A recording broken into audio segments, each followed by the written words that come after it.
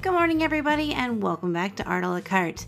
I have missed a couple of days in my Huevember sharing, so let me just catch you up. Not just whether I drank coffee, tea, or had cereal in a cup, but with my actual Huevember. In case you don't know what Huevember is, it's a monthly challenge like Inktober where you create a piece where the dominant color for that day is based on a hue or one color.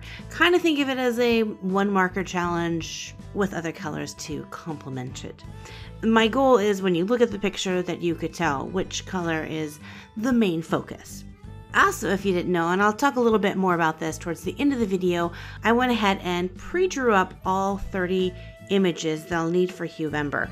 And the reason is because I wanted to share them with you if you wanted to do Huevember along with me, but didn't want to drop some pictures, you could get your own set. I'll leave a link in the description box of this video where you can go over to my Etsy shop. Once you purchase the set, you get all 30 images that you can print off any size you'd like and color them as many times as you'd like. I chose to print these off at half sheets, so I printed two on a page and then just cut the two pages in half. For most of the images, that works great for me, but there were a couple that the detail in the illustration was a little bit tiny, and I kind of wish I would have gone a little bit larger for that one. But generally speaking, I like the half sheet.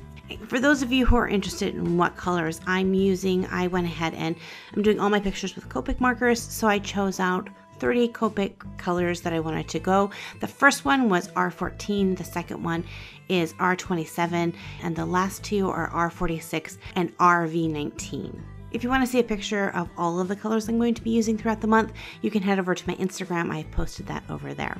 A nice thing about having these images digitally is that you can print them out, as I said, as many times as you want. So if you make a mistake with coloring, it's easy to go back, fix that mistake up, and retry again. If you can't fix it, you can reprint it and just start over.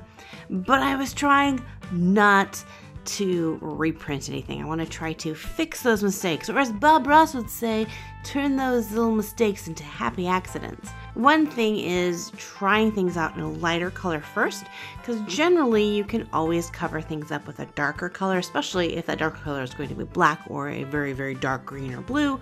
It's easy to cover those up. So on this piece, I wanted to try my hand at drawing plaids. Not so good. One, it was really tiny and I didn't have a fine enough brush or a pen to use.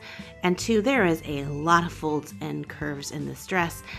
And when you're trying to learn something for the first time, that's not such a good idea. So there's my horrible mistake. I went ahead and covered that up with black and then played around with that. So this one, while I had great intentions for it, started to turn out really blah.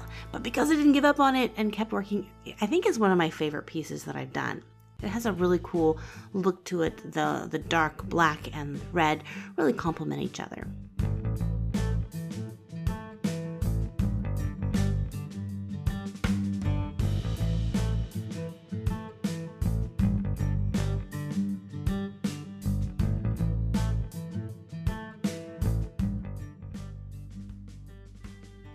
This one here, I wanted to play around with just a cozy look. This is totally something that I would wear. Actually, this one and the next one are two outfits that I would totally wear all the time. In fact, I think I actually have that outfit. Maybe not in that color, but I have that outfit.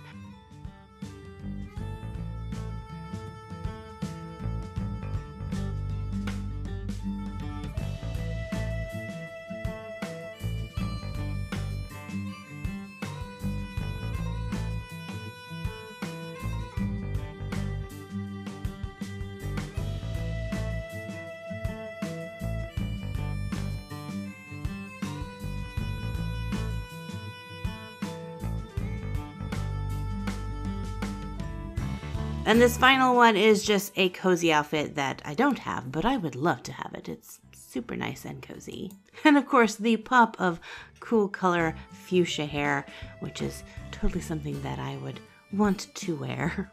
Because I printed these off on actual sheets of paper and they're not in a sketchbook, I was trying to decide how I wanted to store them or to display them. And that's where I came up with an idea to take a cord and stretch it over the top of one of my walls.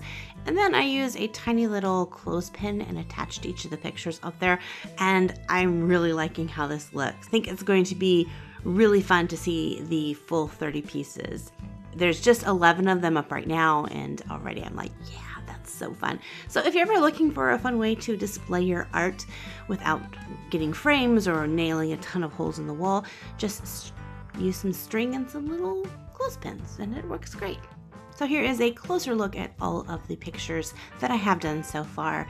Some of them I like a little bit more than others. I'm curious to see if there is one that you like more than others. Let me know in the comment section below. So far, I think day number nine is my favorite piece, mm, although I do like the fawn girl. She's pretty cute as well. And if you are coloring these along with me, I would love to see what you are creating. So make sure to tag me in your photos on social media. Well, thank you guys so much for hanging out with me in this video. I hope you enjoyed it. Hope you're having a fabulous day. And as always, God bless you guys. Keep drawing and we'll see you in another art video. Bye-bye.